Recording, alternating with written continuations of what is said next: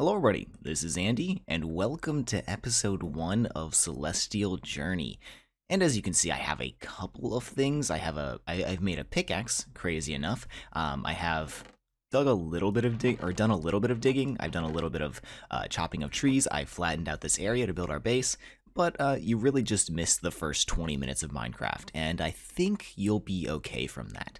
So, from here on, let's uh, actually get into the pack. And first things first, let's go ahead and start making some tools. And while I do this, why don't we talk about what this series is going to be? Uh, well, first of all, this is Celestial Journey. This is a pack based entirely, or not entirely, mostly around full or a large-scale automation of magic mods. And what that means is we're going to have to uh, spend a lot of time really thinking through what's going on and um, and doing a bunch of testing with the actual magic mods in order to do actual automation of them. I've actually watched um, some people play this pack, and it's not the easiest pack in the world, but it's also not the craziest thing you've ever done.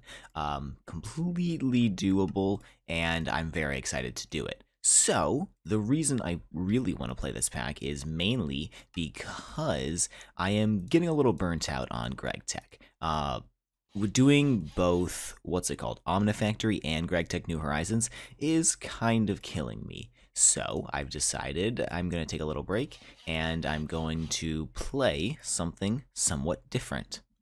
I'm not the hugest fan of magic mods. However, I haven't played a pack that uses magic in probably, I don't know, four, five months. So, and four or five months is a significant time. I've only been playing modded Minecraft for maybe a year, just going on a year, and uh, I haven't been playing expert packs for even close to that long. So that's a that's a very substantial period of time. I'm very excited to do some Thaumcraft and some blood magic, just large scale blood magic. This is one of those packs that requires multiple blood altars and all that kind of jazz.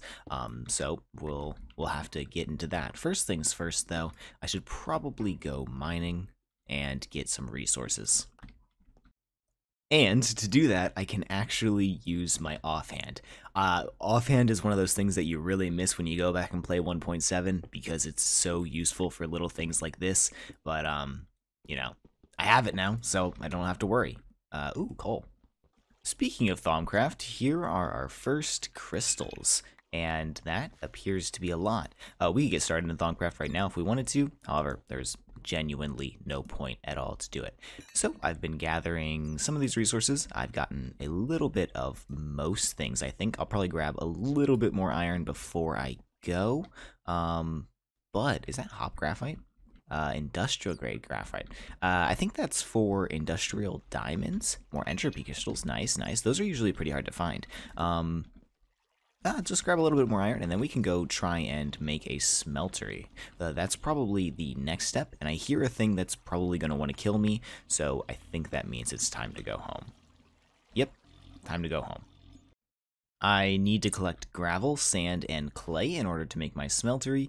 Thankfully, though, we have vein miner in this pack, so collecting those things is literally as easy as the press of a button. Uh, my, my tools don't last super long, so I have to pretty much repair them after every single vein mine, but I think I'll live. Um, let me gather up some of this stuff, and I'll be right back, and we can start smelting it up. Thankfully, we have the standard recipe for grout and seared bricks, so we don't have to do some crazy stuff like a lot of packs require of you. It is going to take a moment to smelt, though. I should probably go get some more cobblestone so I can make a couple more furnaces than just the one I made earlier. Because furnaces are not just the uh, normal standard recipe for some reason. Most pack most things in this pack are normal, like standard recipes in the beginning game. Um, not furnaces, I guess, for some reason. So I'll just vein mine a couple times here, and we should be good to go.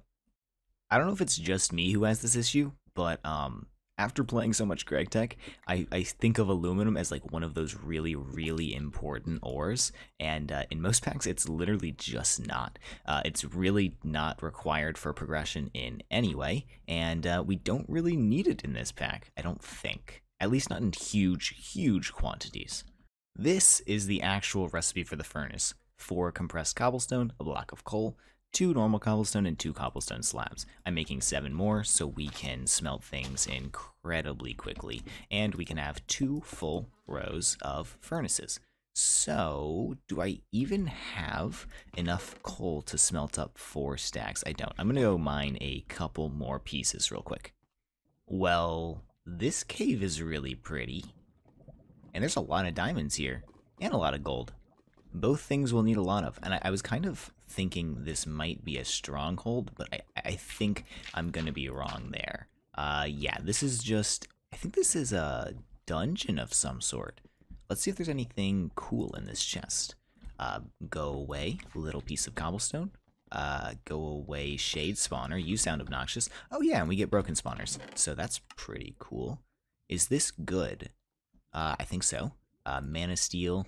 I'll take it. I'll take all of this stuff just for uh, dark steel. We're gonna need so much dark steel that one ingot doesn't even make a dent. And this is literally just made with six. I don't need that. I'll take the flame. Wh what else am I gonna do with it? Um. Okay, perfect. Wait, do I have home? I should have set my home, shouldn't I have? I just realized, except for that one mob that I heard, it might not have even been dangerous, or it might have literally been a cave sound. I haven't seen or heard any mobs. I thought mobs were just like being a little lazy, but I know they're pretty dangerous in this pack. So, um, yeah, I was on peaceful mode. I, I don't know why. I, I my hunger wasn't going down either. That was another big clue. Um, so now we're playing on normal. I uh, I have no reason to play on peaceful. This pack is not that hard. It's more focused around automation than anything. But that does mean I. Where'd my wool go? I know you gave me wool. Um, will you give me wool? Okay. What the heck, dude? Where did it go? Uh, I I don't know. Uh, I just need one more piece of wool. I am going to make this bed so we don't have to deal with any of them. He, did he just toss it somewhere? Well, yeah, okay. Thank you. I don't know what's going on with these sheep, man. And there we go. Spawn point set. And let's officially get some of this stuff cooking. It's going to take approximately half the time with eight furnaces instead of doing uh, four furnaces, so this won't actually be that bad. While that happens, let's go ahead and hope that the rest of the materials needed are the basic recipes. This is not the basic recipe, however, it's not a hard recipe either. What about the smeltery controller? Block of redstone, so I think that means I need to upgrade my pickaxe. I think I can do that with a little bit of prosperity shards. Never mind, I cannot. What is a strong material? I, I guess I could make a basic iron pickaxe, couldn't I? These things have some durability. They have decreased durability. However, I could go mine some like diamonds or mine some redstone? I don't know. I'm going to go back down into the cave. Oh, before I go, I do want to check, do we have home? If we don't have home, I might make home exist because I really like teleporting home. Okay, let's check the options. I think that's FTB utilities. Yeah, as you can see, they're locked in here. If I give myself uh, cheats, do I have cheats on? I don't know. Uh, we have cheats now. Let me see if I can allow me allow myself to use the where was it? Commands? No i can't change these. So i'll have to change this out of game. I think i am going to change it because home is just such a nice quality of life feature. I see no reason not to have it in your pack um, but uh, that's just me. Uh, technically i guess it's cheating it's changing the nature of the pack but i, I i'm not gonna lie. I don't really care that much. And there's enough redstone. I really hope so. Yeah, just a little bit. And while I'm here, I, am gonna mine these diamonds as well, since I can. Ooh, more redstone. Perfect. And look what I found. Draconium. I didn't even know this stuff generated in the overworld in this pack. Um, cool. Uh, I cannot mine it right now, so I can't have it. But I do have a couple of diamonds, and there's a couple more that I can mine up on the ceiling over there, but uh, I'm not going to take you through that. It's literally just pillaring up and mining the diamond because there's only one in each vein, which is a little unfortunate, but uh, I'm still going to come out of this with six whole diamonds, which should be enough to get us started pretty good. Ouch, that, uh, that hurt. Okay, here we go. The smeltery controller and I need to smelt up some of this sand. Let's just go ahead and do half a stack, why don't we? Because we have the materials to do it. Also, I slaughtered some pigs so we could have food. And wow, I didn't realize I'm so used to playing with Pam's, I guess. Pork chops are great food in normal Minecraft. Okay, give me the one piece of glass I need for the tank. And then I need to craft up one of these, and then one of these, and then pretty much, uh, oh, I need a basin. Uh, there is a special recipe for it. Basin, please. Um, I don't need one of these right now. What's the other one called? It's called the casting table, and it's a lot cheaper. So let's make one of those, and then pretty much the rest of these can just go into seared bricks. I think, um, yeah, that should be enough. Let's go ahead and make as big of a smeltery as we can get.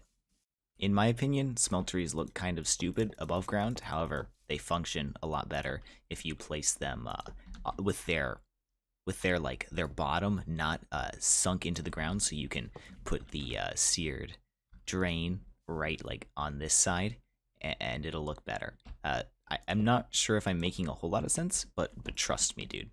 Like this. Um, if this was lowered into the ground one more block, the drain would either have to go on the second level or it'd have to uh, be, this would have to be sunk into the floor, which I don't like. So, uh, ugly smelteries are the best smelteries. And with all of that place, we have the uh, bare minimum smeltery. It can hold 9 blocks because the internal air volume is 9 block spaces. See, the smeltery makes perfect sense in, in Minecraft terms. It's actually one of... Tinker's Construct is very much a vanilla plus mod. Um, we need to get some lava for this thing so we can start smelting our, our, our ores because there is ore doubling in this thing in this pack. So I'll probably use this to process ores for a, a while to come. I can also go ahead and max out two more layers of this smeltery so we can hold uh, 27 ores at a time, which is actually pretty good. Or wait. Uh, yeah, this is fine for now. I was I was gonna say we could make it a five by five smeltery, which I think we could manage at least one layer of, but uh, I don't really want to tear this thing down and build it again. Actually, wait, we have this. Oh my my tool broke. Uh, we have this. Yeah, I'm rebuilding it. And there we go. It uh, is actually the exact same amount of blocks, I have four left over, as the uh, three tall one of the 3x3 is, which is interesting, I guess. You get one less space, but uh, your expandability is much more insane. And as you can see, I am smelting up a little more seared brick. It's actually quite close to finish, so maybe I can get one more thing out of this. Just maybe, come on, please craft it. Um, comfortably, comfortably one more, maybe two more.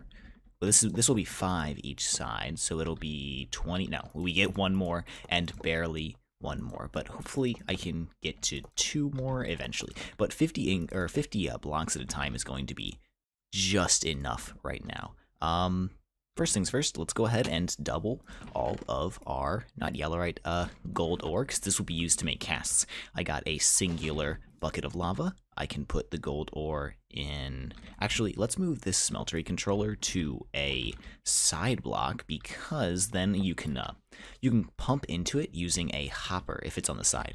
So, just like that, it forms again, and we can smelt all these gold at the same time, and as you can see through here, we can yeah, we can turn it into two ingots instead of just one, like normal smelting will do. And while that gold was smelting, I guess something jumped into my furnace, so we have just a little bit of blood. Actually, this probably isn't a bad thing. It means I can stop things from leaving the smeltery at um, any given time, because I don't think this can go directly onto the casting table. So we have this, and now I can make an ingot cast so we can cast all of the rest of the ingots of gold. Um, you can use any type of ingot or ingot-like thing for this, like bricks and stuff like that, and uh, this can be used to cast. So I'm going to want a couple of hoppers to finish the setup, and uh, I did want to mention one other thing about the smeltery run as many operations in it at a time. If you can fill it up entirely, do that because it uses the same amount of lava whether or not it is full. So uh, you, you save lava by running 50 pieces at a time. Okay, Um, I've got to go to class right now. I have online class in just a couple of minutes, so I'm going to continue playing as long as the class isn't super hard. Right now, we're just doing a lot of conceptual stuff in physics, so I don't think I'm really going to have to pay a whole lot of attention, and uh, I'll probably just study it later. So I'm going to set up a little bit better here, and I'll be back as soon as class ends. Okay, so I'm back, all of my classes are done, and here is the setup. I now have an iron pickaxe, which with, um, I think bronze uh, tool rod and binding, and a bronze tool rod on my iron mattock, and they have a diamond applied to them to make their mining level go up, as well as one piece of redstone just to take up the modifier. I'll add the rest of the redstone later. I'm uh, pretty low on redstone at the moment. I also added this redstone clock, which you can toggle on and off, and that'll automatically pour liquids from this thing into here. Along with that, as you can see, most of my uh, materials have been smelted up, except for this little bit of copper that I'll throw in right now. Um, that means we can get started into not just the beginning, however, uh, we can, I think, begin to progress into machines. We'll need to make some of these machine frames, so let's think about doing that next.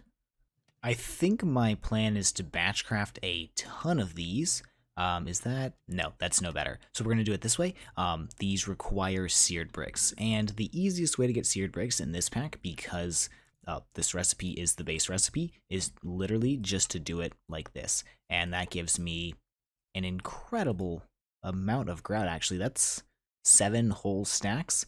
That'll be enough to batchcraft a ton of uh, that needs to go in there, except for three of them. Um, a ton of these machine frames. I'll try to make like maybe 10 right now. 10 ingots are probably going to be my limiting factor. Yeah, it appears so. I really didn't run into a whole lot of tin when I was mining, huh? In light of that, let's try and make five machine frames right now. And there we go. That is the materials for five machine frames and five whole machine frames crafted up. So now we can put these to use. I'm going to need a magma crucible with one machine frame. Uh, we are going to have to go to the nether, but that should be fairly simple, assuming flint and steel is the normal recipe. Yes, it is. I already gathered up a little bit of obsidian, so we can go ahead and set this portal up wherever we like. This seems like a good enough place for me. It's uh, close, but not too close that we're going to have to listen to it all the time. See you on the other side. And here we are. This is actually a pretty nice spawn. The nether in this pack is horrendous, and it will kill you if you don't have good armor. So uh, the fact that we're in a little bit of a cave here is actually really, really nice. Let me just go ahead and gather some... Ooh, draconium. That's pretty cool. Um, let me gather some glowstone and some netherrack, and maybe a little bit of nether quartz, and then we can get making our first machines. Alright, we're uh, back home.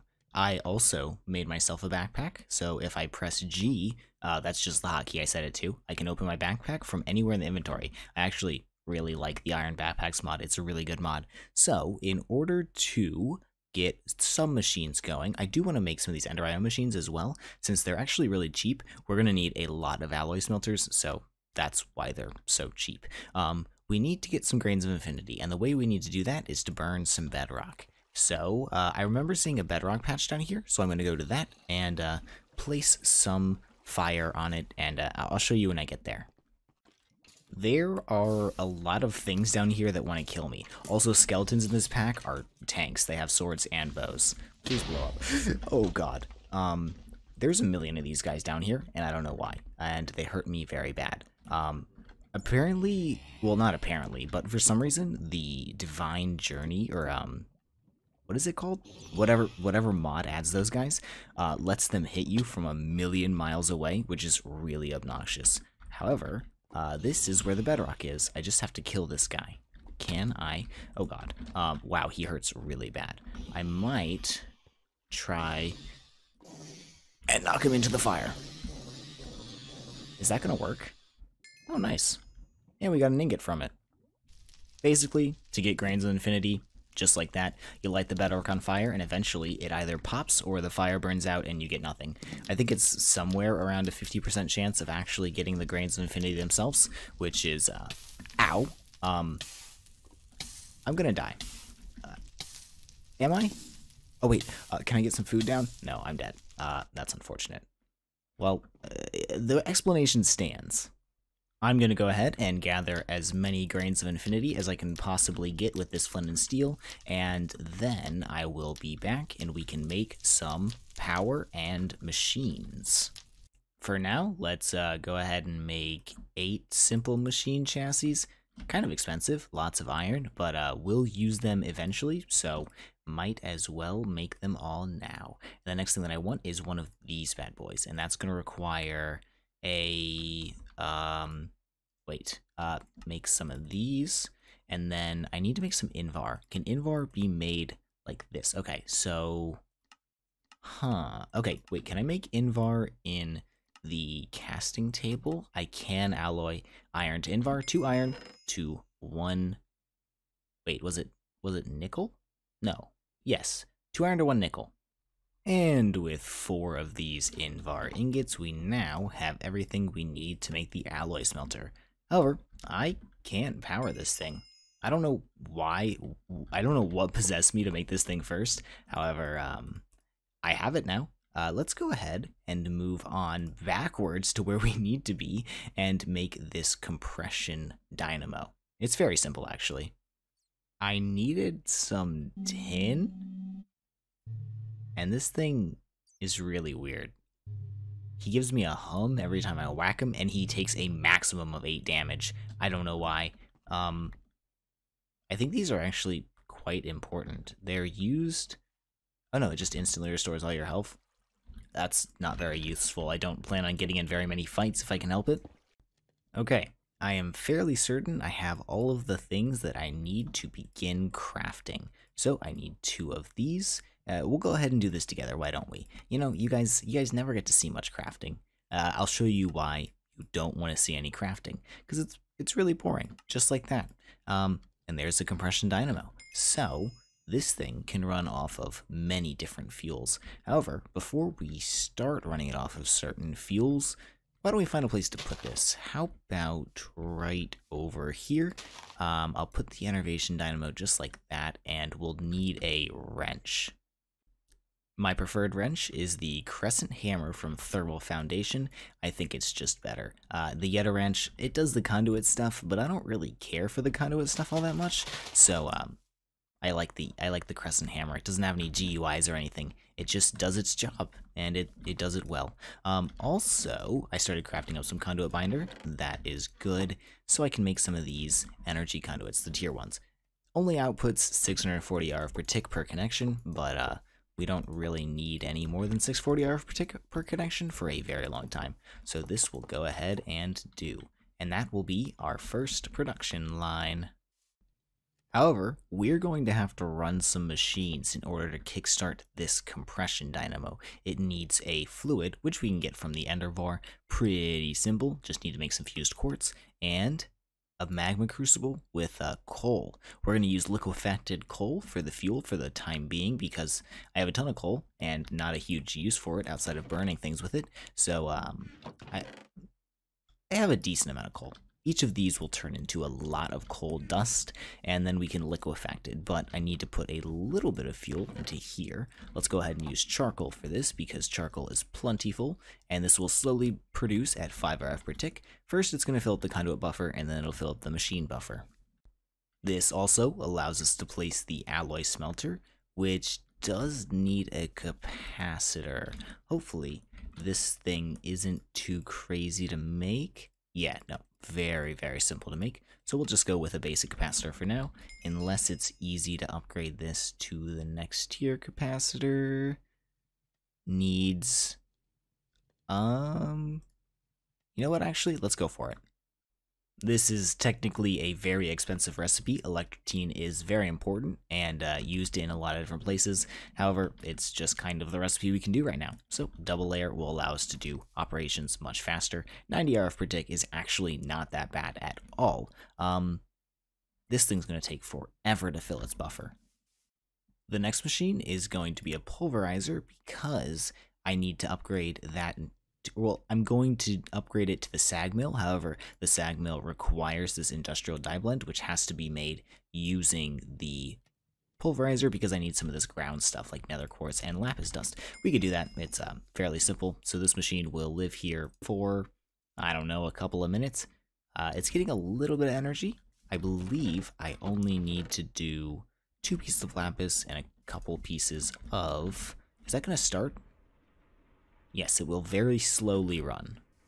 I also need to crush some nether quartz. So let's go ahead and configure this to Q. Wait, that is correct.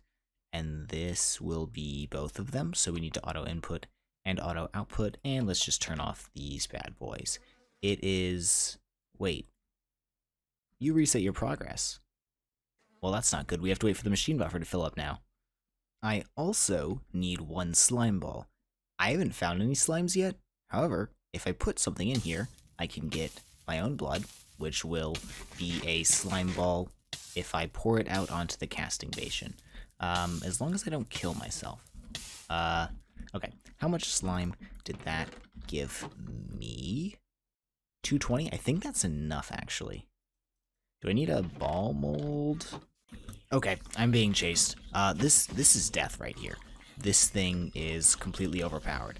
I don't like mobs in this pack so far. They've killed me many a times. Jesus. Anyway, it uh, turns out the issue is if you want to pour something, you have to put it on the bottom. And there we go. This is actually going to be the first alloy smelter recipe we do.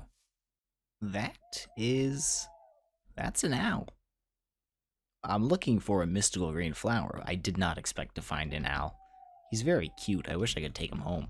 Well, there's two owls. They're different. Hello, buddy. I have come to the conclusion that there is absolutely no such thing as a mystical green flower in this pack. However, um, I'm gonna hope. Well, okay, there is such a thing. There, there definitely in the wild out there somewhere, except there's so many flowers in this pack that uh, they very rarely are going to actually spawn. So I'm hoping within six mystical bone meal things, I will be able to get a mystical flower. Um, let me go ahead and make the sixth piece. My brain is not working right now. Oh, you need to... Okay, one second. And there we go. Completed the craft, uh, finally. Let me get rid of some of these flowers so I can have maximum spawning potential for the flowers I actually want. And there we go. Uh, no green flowers there. That's a lime green flower. That's not what I want, but I am getting more flowers, more flowers. Okay. Um, not looking great, not looking great. Still not looking very good. Oh, come on, don't do this to me. Oh my god, there's one. Perfect. Uh, okay. Now I basically have what I need. The issue is I did only get one flower, so I only have two, but um, I have so many mystical flowers now that I can make more flower fertilizer as soon as I get the bone meal. The issue is I don't have any bone meal to grow more flowers, but I need this mystical green flower in order to make some of this organic green dye, and then as soon as these things are finished up, we should have everything we need to make the industrial dye blend. Wow, there's a lot of recipes there. Uh, how about this one? Uh, I am missing organic black dye. Interesting. What's this?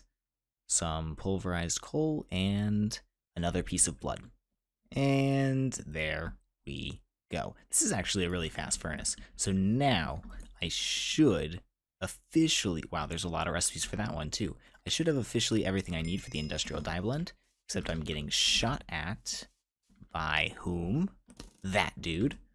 And given the industrial dye blend and a couple of simple machine chassis, we can make some industrial machine chassis. These are used in various machines throughout the pack. We'll actually probably need a ton of them, but for right now, the uh, six that I have made right here, I actually already made three, however, I lost the clip, so uh, now we have six. Um, they'll be used frequently. So, what is next? I guess a sag mill. I can probably make a sag mill right now if I just make a couple of these and smelt up some more cobblestone.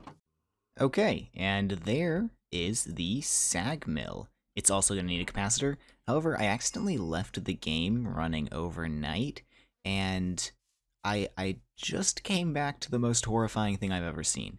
Those are all pumpkin spiders, and they're incredibly deadly. There's like 20 of them there. Um, I'm a little terrified.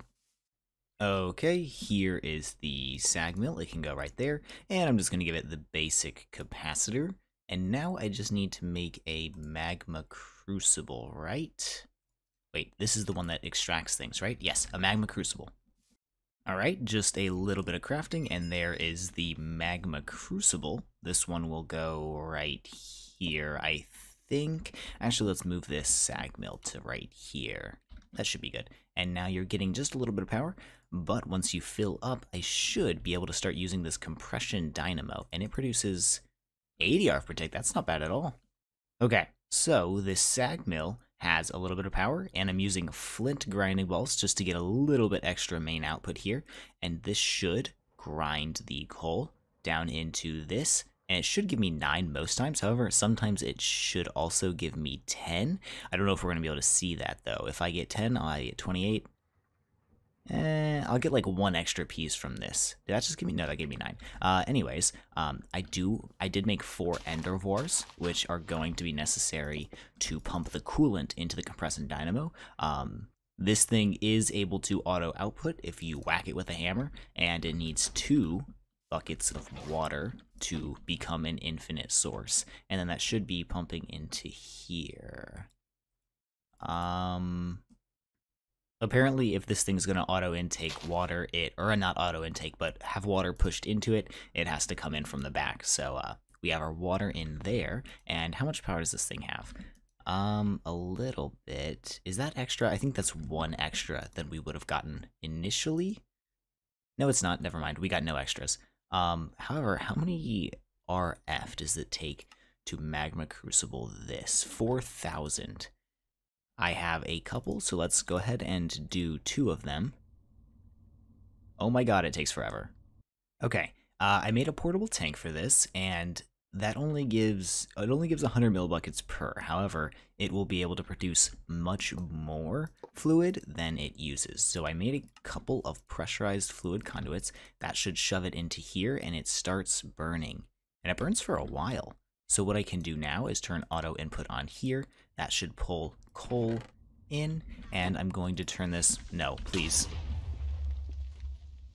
You're a jerk. Um, at least you didn't kill me. Um, push here and pull up top, and I can just put uh, blocks of coal in there, and it will automatically go into our thing in here. That's pretty nice. And liquefacted coal produces 400,000 RF per bucket, or 40,000 RF per 100 uh, per per one operation here, and it only costs around 5,000 RF to do it, which is not bad at all. Oh, and it's getting faster because it has more power now. Nice. Don't you... Oh god, I'm about to die. I was gonna do my outro, but um, guess I'll guess I'll just lose my life now. Please. Ow. Okay, I'm pretty sure this video's gone on quite long. However, it's been a couple days since, uh, since I've uploaded. I uh, hope you guys enjoyed the video. If you did, maybe leave a like down below or something. Have a fantastic day, and I'll see you in the next one where we get started on some real stuff. Maybe even applied energistics. I don't know. It's really easy to get into applied energistics in the pack. Uh, anyways, take care. Uh, bye bye.